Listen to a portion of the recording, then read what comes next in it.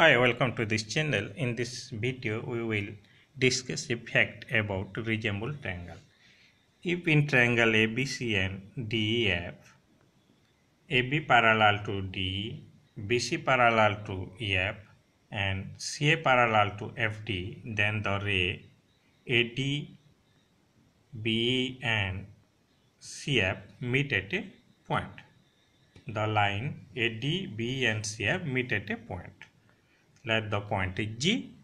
Try to prove it. You can prove it by the use of Thales theorem. A hint is Thales theorem. Have a nice day.